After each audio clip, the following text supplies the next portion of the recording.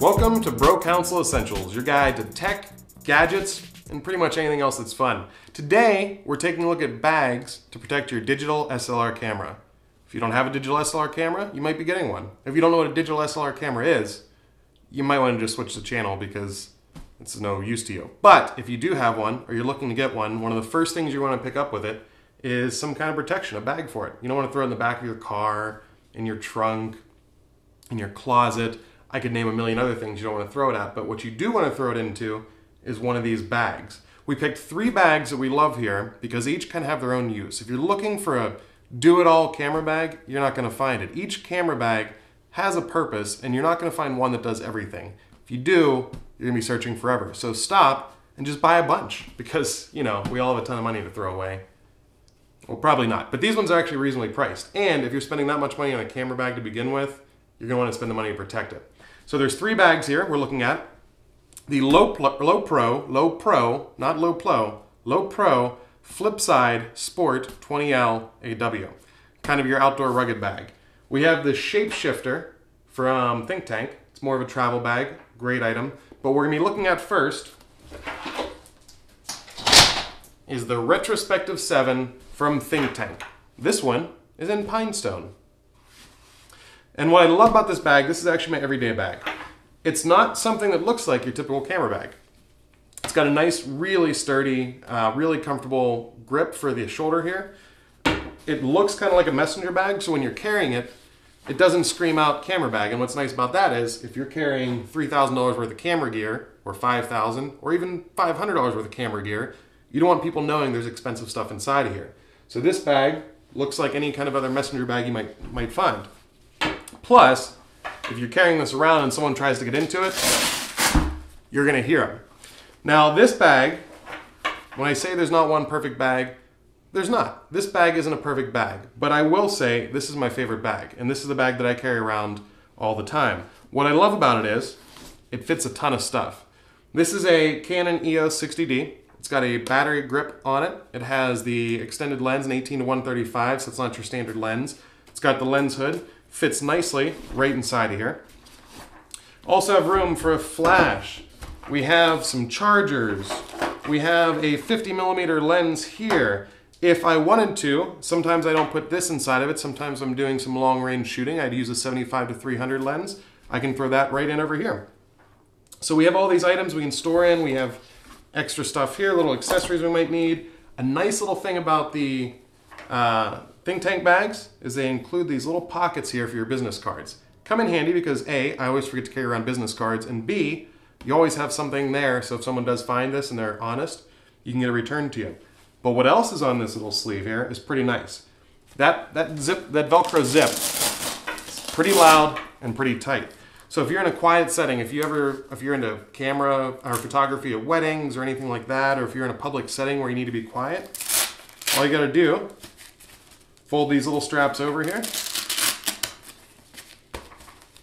Close it up, and it's silent. Now you don't have to worry about the Velcro, because that Velcro is really tough.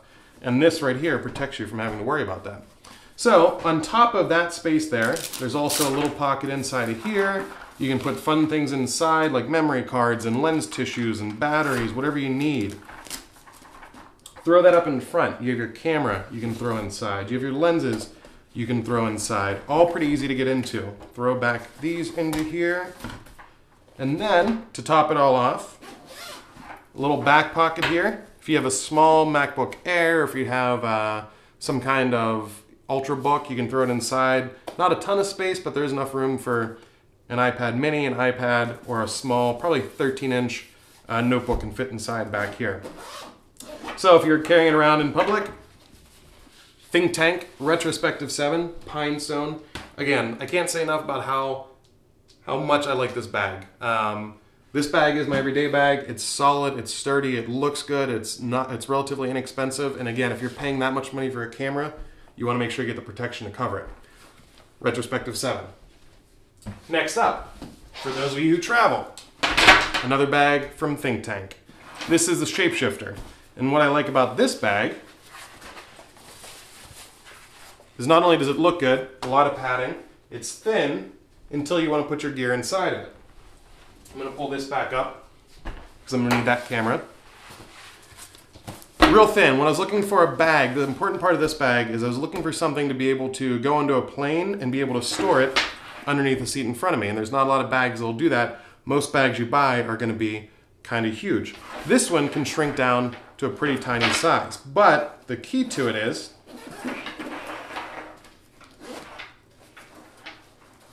little storage area back here. If you have something like a MacBook, which um, is now missing, don't know where that's at, you can put it inside here, 17 inch laptop. That is all stored nicely inside. And when you open up this big pocket, it expands. You can open up this pocket. Looks a little tricky, but it's pretty easy to get used to. And you have these nice little pockets inside. So you can store two camera bodies, a bunch of lenses, whatever else you need. I'm to show you how you store it with this. It's a little different than these bags. This isn't a bag that you're to carry around everywhere you go. What you're going to need to do is take off your lens. Because when you store this, you'd normally store, of course, a cap on it. I'm not going to waste your time. But you put this inside of here. You put your lenses inside each of these pockets. And you can put a ton of gear. I'm not going to store it all. But you can put a ton of gear inside zip it up, throw it on. You got your laptop in there, you got your camera bodies, you got your lenses, and it's still a thin bag. So when you go onto a plane, when you're going onto a bus, a train, whatever mode of transportation you prefer, you can carry this on and still have a carry-on bag. This is your extra item. You still get your carry-on. You don't have to worry about checking anything, especially your expensive gear. And you don't even have to throw this up in the bin over top of you. You can throw it right underneath. Don't worry about someone taking their giant, massive bag that's overstuffed and they're trying to cram things in because they're unhappy because they're on a flight and their kids are crying and they're mad and they throw it in there and they break your stuff. I've never had that happen in experience, but I'm sure it's a pretty plausible situation. So again, this bag, ton of room, folds up nice, it's expandable, and if you ever just want to carry around a laptop, put a few things inside, this bag will work as well because you can zip it up tight. And again, it's a very comfortable bag. That is the Shapeshifter from ThinkTank. Now the last bag we're going to take a look at is the one that's the tongue twister, the Lowepro, not the Low Low or Pro Low or whatever I said earlier. The Lowepro Flipside Sport 20L AW. This bag is a beast of a bag if you're going on any kind of outdoors trip for a couple reasons. Number one, it's a nice rubberized outside. This bag screams camera bag because it's made to protect a camera and it's made to do it well. Those bags will protect you and they'll protect you from rain and weather, but this one, if you're going hiking, if you're going out for a while, this is the one you want to have. A couple things about it. Number one, it has this nice little belt strap, so it gives you a little extra support. If you're carrying this a long way, going uh, up on a hike for however many miles you go on a hike, because I'm not a hiker, um, you carry this with you, it's going to be comfortable. And when you fold it back like this, you get into it from here instead of the back. It gives you a little more protection from the elements. So you pop this down, that folds out, you put your gear inside of it. Now what I'm going to do is pull up the camera and lens from the last setup. I'm going to snap this back into place here. You can go ahead and if you, I, I, don't have this adjusted, but you stick that right inside here, that's where your camera goes. So you set that inside, you put all your different lenses, any different equipment you need inside of here, it's gonna store it. But what happens if you run into a rainstorm? Simple. This whole unit inside of here pulls out. And you can either do one of two things. You can either wrap this up and put your gear inside of it, or if you want to protect the Israelites, you could probably float this down the river like baby Moses. But it's nice because you just pull these straps here, cinch this up tight,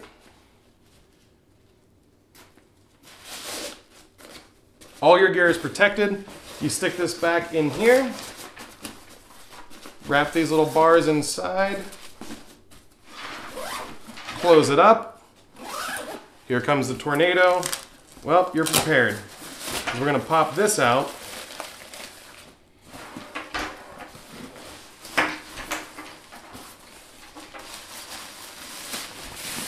built right into the bottom. It's attached. You throw this over and your gear is protected and ready to go. So you don't have to worry about those storms and rain. It's protected up here, and because you were all sealed up inside, you don't have to worry about any of the water coming down and getting up inside of it because that bag is sealing you up on the inside. But not only does this have good protection from rain and the elements, there's another little two cool features on it that I really like. A lot of bags have tripod holders onto them. This one goes a little extra step. You pop these out. You have your tripod right here. This one is a BeFree by Manfrotto. Beautiful tripod, portable, everything else you need. Stick it right inside of here.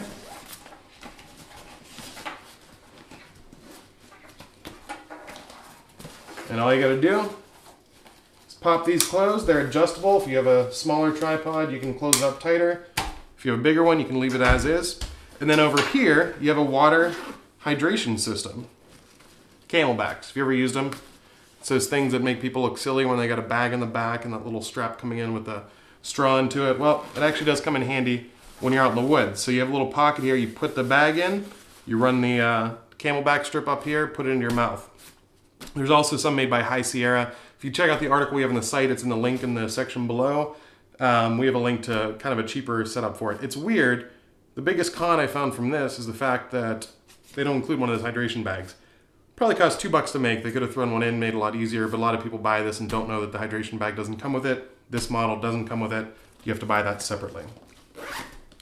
But you have your hydration bag, you have your tripod holder over here. And if you want to get your tripod out, it's easy to pull out. And I'm telling you, there is a ton of pockets inside of here. These two aren't just one big pocket. There's actually two pockets inside. You have these little straps right here in case you want to hold anything. You can pop those out, stick things inside. You got more space right here. So if you do want to carry an iPad or uh, a Nexus or anything else you want to throw inside, you got them. There's pockets inside the sides. You got a ton of space for gear here. It's going to be sturdy, rugged, and ready to go on your next camping trip. This is the Lowepro Flipside Sport 20L AW. Again, if you're looking for a bag, you're probably going to look at a few different bags, depending on what you're going for. If you never hike, don't worry about the Lowepro. If you never go on planes, don't worry about the Tank Shapeshifter. But really, everyone should have a bag something like the Retrospective 7. Um, even if it's not the Retrospective 7, if you don't like the messenger bag setup, Find a bag that works for you. You can carry all your gear in. That's portable. Doesn't necessarily look like a camera bag, but you can take it around the city, the country, wherever you want to go. Have all your gear into it. Protect it. Spend a lot of money in your gear. Make sure you protect it. So that's our wrap up of the bags that you might want to take with you if you are a budding photographer, if you're a wedding photographer, whatever you are. You're, if you're a photographer, if you have a camera, you have a digital SLR, you got some expensive equipment, you have some cheap equipment, these are the kind of bags you want to look at. So again, Lowepro Think Tank. Take a look at the website, brocouncil.com. There's a link in the section below that'll take you right to the article that goes over not just these things, but everything you might need when you buy a digital SLR. Uh, you can also check it out because there's links to all this gear. If you go to the Think Tank site through the link we give you, they actually give you a $50 gift which each, with each purchase, which is nice. Um, and if you buy directly from them, it's a little bit cheaper than what I found online, which is weird. Sometimes, okay, most times I go to Amazon, they have the cheapest prices, but I found that Think Tank Direct actually has some better prices. So go to the links there. Uh, that'll tell you how to get them. And again, they give you some kind of free gift with every purchase. It's kind of a random gift, so you might not need it, but hey, it's free. And you don't get that if you go through like Amazon or uh, Best Buy or a place like that. Also, check out the rest of our videos. There's a link down there as well for another video we're doing on all the basic essentials you need for a digital camera when you get started. These are the bags, but we cover the chargers, the memory cards, and if you're just buying a digital camera, It'll give you kind of a reminder list of everything you might need, as well as we have a PDF that you can download, kind of a little shopping guide. So you can take a look at it, check off as you go. If you're going in one of the big box stores, you can cross off the list, figure out what you need to buy, figure out what you actually want, and make sure that you have everything you need to get started. So again, I am Ray from Bro Council. Check out the site. We're a site for respectable men.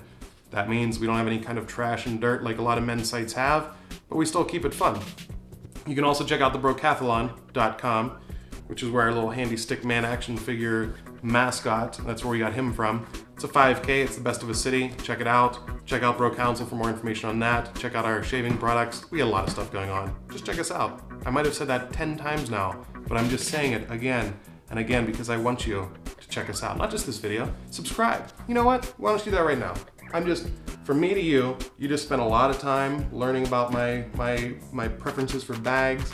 I feel like we've bonded. So click on that subscribe button. Make sure you get more news and sports and humor and whatever else we're putting on the channel. Reviews, photography, it's all for you. Just click subscribe. Go to Bro Council. We'll check you later.